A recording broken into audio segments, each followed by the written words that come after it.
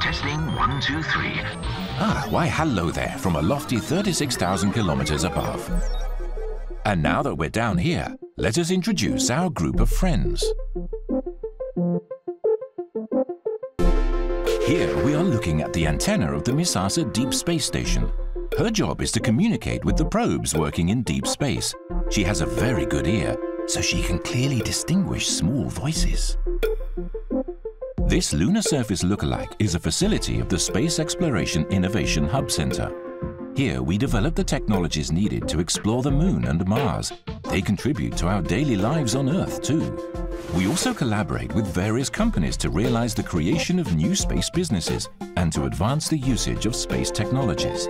We work on education programs too, providing learning opportunities for the younger generation using space as educational materials. Ah, hold your seat bar. It's slow, I know, but it's not standing still.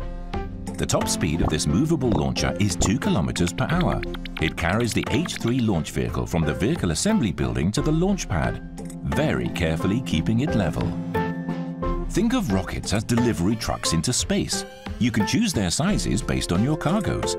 The Epsilon launch vehicle, our petite solid fuel model, is less than half the height of the liquid-fueled H-3. Set it up on the launch pad and we'll have it spacebound in a week. Let's raise our altitude a bit, shall we? Ooh, did you see that? I did, but in case you didn't, let me show you its wind tunnel testing footage.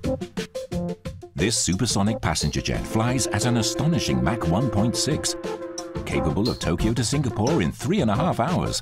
That business trip of yours might soon become a day trip. We've now ascended into the stratosphere, far above the clouds.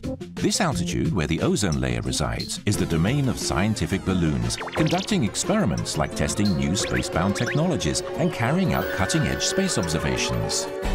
You can see the International Space Station and the Japanese experiment module Kibo, where astronauts conduct all kinds of experiments to the benefit of humankind. JAXA's six astronauts have all stayed here over 100 days each and the HTVX. It's a new unmanned spacecraft carrying supplies from the Earth to the ISS for supporting the astronauts' long-duration missions, as well as the experiments being conducted there. Higher up, you can find many more friends.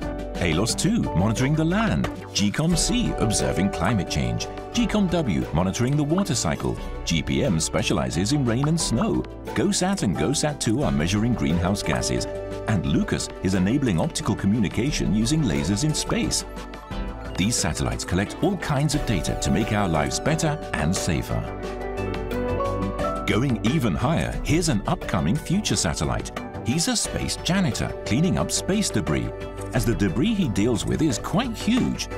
He needs to carefully approach and dispose of them. A new space station that serves as a staging point to the Moon and Mars. This is the Gateway, at JAXA, we developed the astronauts' life support systems. Longing for the ground yet? This is the Lunar Polar Exploration Mission, or LUPEX for short. Our mission is to investigate water in the south pole of the Moon. And MMX is a mission to explore Mars and its moons. We'll first travel to Mars to make various observations, then land on Phobos, one of the two Martian moons, to collect samples that may contain particles ejected from Mars. Finally, we plan to send the Phobos sample back to Earth. We've come quite a long way. There are so many more projects I want to introduce, but alas, our time here is up. We are JAXA, where the workplace ranges from ground level to the solar system.